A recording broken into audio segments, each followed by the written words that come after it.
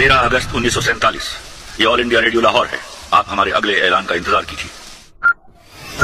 चौदह अगस्त उन्नीस ये रेडियो पाकिस्तान लाहौर है। आपको पाकिस्तान मुबारक।